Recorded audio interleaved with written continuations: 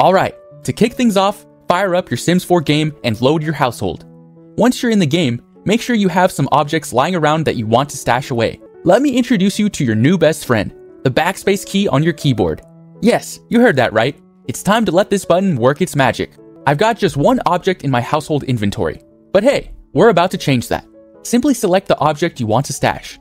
Could be a vase, a book, or anything that's cluttering up your space. With the object selected, press that trusty backspace key on your keyboard. And what do we have here?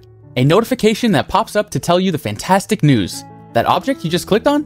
Bam! It's been swiftly moved to your household inventory. How cool is that? But wait, there's more! Imagine the possibilities, my fellow simmers.